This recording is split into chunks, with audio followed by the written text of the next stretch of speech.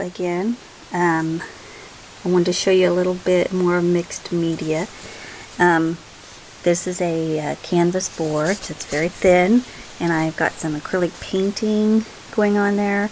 Used a black acrylic marker to line it and I used some bitumen, I think I'm pronouncing that right, which is a little toxic so make sure the windows are open. It's a little strong, not toxic. And uh, anyway, that's what it looks like so far. Hope you can see it. Thank you.